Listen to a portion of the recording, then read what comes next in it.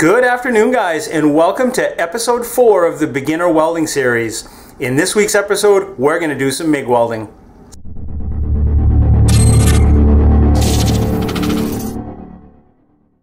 Welcome back, guys. And for those of you that are new to the channel and or maybe haven't been following along with this series, I'll put a link up above so you guys can catch up to speed. But for now, let's get to welding. All right, so with our machine plugged in to a dedicated outlet, the next thing we're going to do is turn on the gas bottles. And what you want to do with these, uh, this is C25 gas, and with these tanks, you want to open the tank up all the way and I set the CFH to 20 with the machine uh, trigger pulled. So, in other words, when I pull the trigger and gas is flowing through the MIG gun, this will drop down and that'll be at 20. So, now, with all our safety gear, we've got our helmet, glasses, respirator, some gloves, and we got a couple test pieces. So, we got to set up the welder next. So we got to figure out what we're working with for material. So great thing about this, this is an awesome little tool. This is uh, a gauge to tell you the material thickness that you're working with. So that way you'll know what to set the machine up at. So this right here is eighth inch angle. And we'll go to the eighth inch scale. And there it is. So that confirms that we're going to be welding on eighth inch material or 125 thousandths. So we'll go over to the welder, pop up our nice lid. We go to steel. We are using C25 gas. I've got 30 thousandths wire in it. And eighth inch, do you see it? Keep going, keep going. Keep going. So it's going to be between 10 and 12 gauge because you've got 105 thousandths and 135. So we know the first setting is going to be 4 and it's going to be between 40 and 50 so 4 and 45. So set it for 4. We'll go to 45. That's going to get us real close in the range where we need to be. All right, guys, so now we've got our welder all set up. Now, this leads me to the next step, and that's going to be welding. Well, I thought back to what did I struggle with when I first started welding? You know, what is what are the things that really confused me or what are the learning curves that I had to deal with? So the easiest way for me to explain this to you about how to weld properly is probably how to not weld properly. And the great thing about MIG welding is, is that uh, you can almost tell by the sound of what you're doing, whether it's right or wrong. So you, you have the sound combined with the results, and that'll tell you kind of what, if you're doing it right. So what we're going to do is, is we're going to start out welding, and we're going to have our wire feed speed set to fast. So we've already got the welder set up within the range that we think it should be, or according to the chart, and that was 4 and 45 for the eighth inch material that we're working with. So what we're going to do is we're going to start out with a wire feed speed that is way fast. Then I will bring you in and I'll show you what that bead profile looks like. And then we'll go to the opposite end of the spectrum and show you what it looks like and what it sounds like when the bead, uh, when the wire feed speed is too slow. And then I'll bring in and show you what that looks like. So the happy medium between those two, too fast or too slow, would be just right, and then you'll be able to see what a bead that is done just right looks like. So, with that being said, we've got our respirator, our gloves, our safety glasses, our welding mask, we've got our coffee. That's probably almost the most important thing we can have is the coffee. You got to have that. And uh, so, let's get going. All right, guys so that I can talk to you, I'm to risk my health and not wear my mask. That's right, you guys are causing me to risk my health. no, I should be wearing a mask, but I'm just going to do some quick welds here, so, and I want to be able to talk to you. So I like to wear my safety glasses underneath my welding hood. That way, uh, if I need to transfer from welding to grinding, I can just easily flip my hood up and I've already got my eye protection on. So, and I, I just think it's a good idea to, to do that. But that's just my, that's, that's just my personal opinion. So, to recap, this is going to be wire feed speed too fast.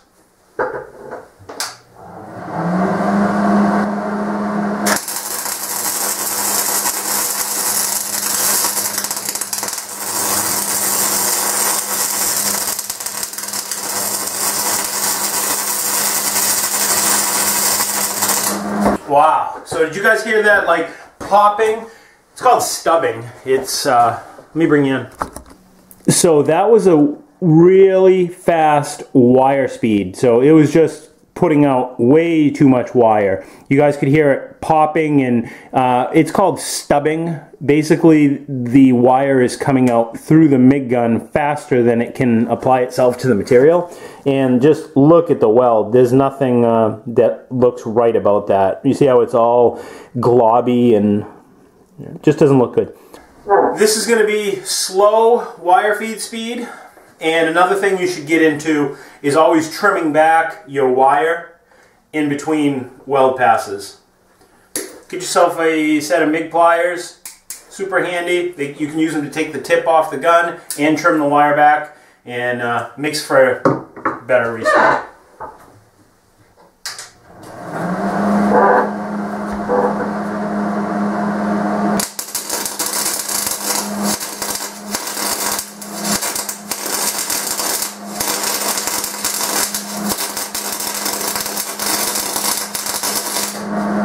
Now we have the complete opposite.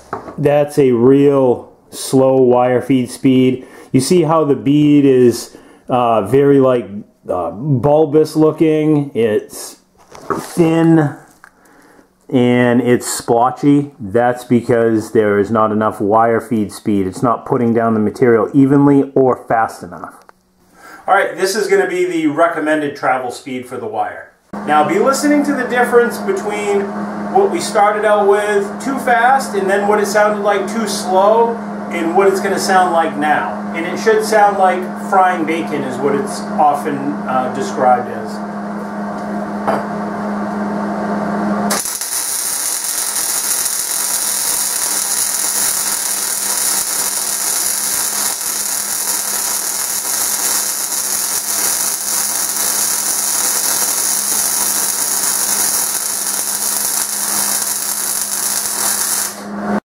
That's the correct wire speed feed or recommended settings. That's when we were welding it with a too slow wire feed speed. And the back side is the too fast wire speed feed. So now that we've got a general idea of what it sounds like and what it looks like when you're traveling at the proper wire feed speed and the proper amperage, the next thing comes to mind is, is how do I hold it? You know, how do I hold the actual torch itself? Um, do I drag it? Do I push it? Uh, what's the tilt angle? Um, and what is the action that you do? Those are all learning curves that uh, that you got to kind of overcome, and it does take practice to figure this out. Let's talk about uh, dragging, meaning you're going in this direction, or pushing, which means you're going in that direction. So dragging your, you know, this is a way that I find it easy uh, to explain it, or when I was learning of how it worked. So think of the wire that comes out of this gun as water.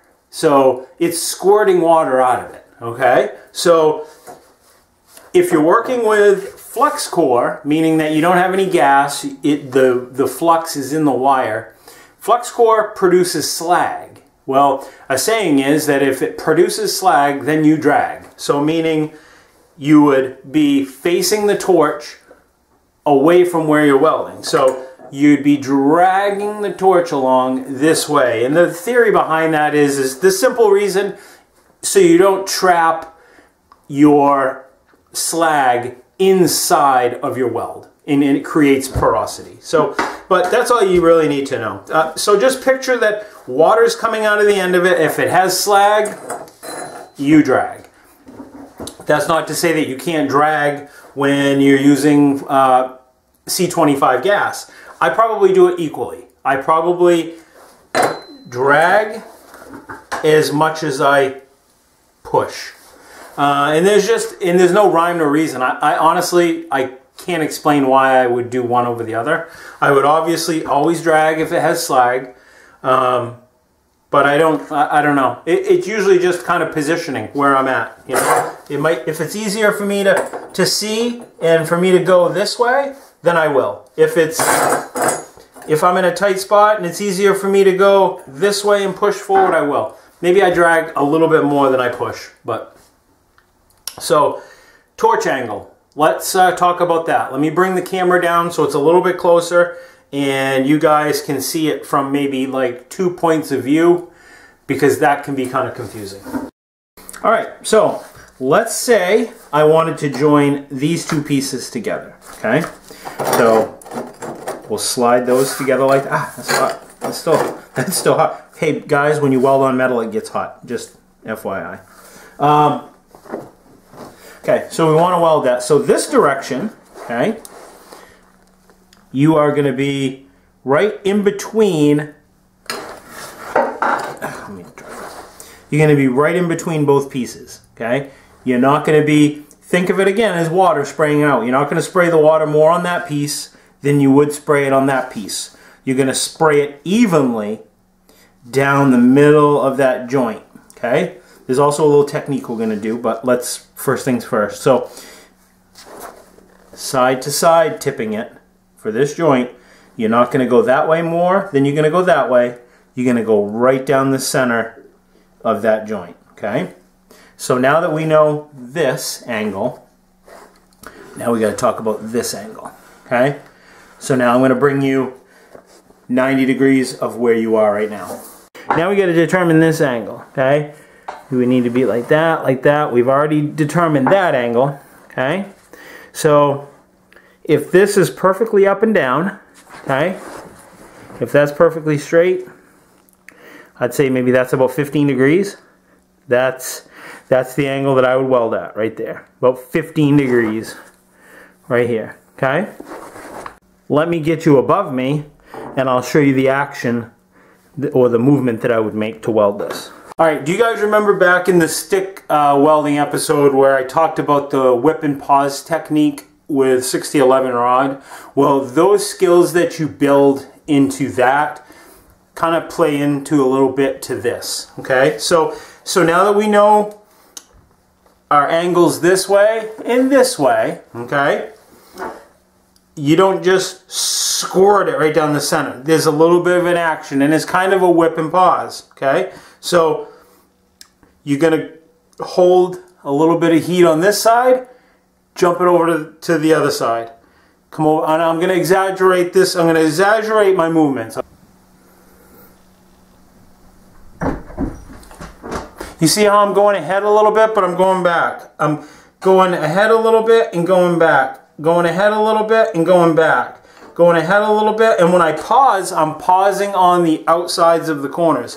I'm pausing on this plate and I'm pausing on this part, okay? Okay, so now that you guys are familiar with holding the torch at the proper angle, now what we got to do is talk about uh, stick, what's called stick out. So that is how far away the metal wire is sticking out of the end of the MIG gun and how far you're holding that away. So I say, for me that works best, I hold it probably not much more than a quarter of an inch away ever. So for me, probably the maximum that I would hold it away is probably something like that. You know, if you're holding it out here, holding it out here, you're going to hear it because it's going to do the same thing as a fast wire feed. It's going to start stubbing. It's going to make that sound. So hold it about a quarter of an inch away. That's a good rule of thumb, and you'll hear it. If you hold it too close, it's going to sound sputtery. If you hold it too far away, it's going to sound sputtery.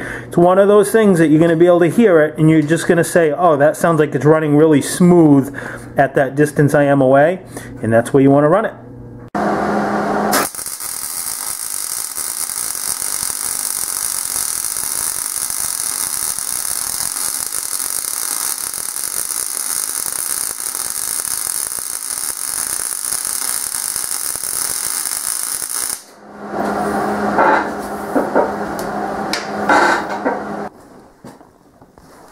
You can see it's not it's not globule.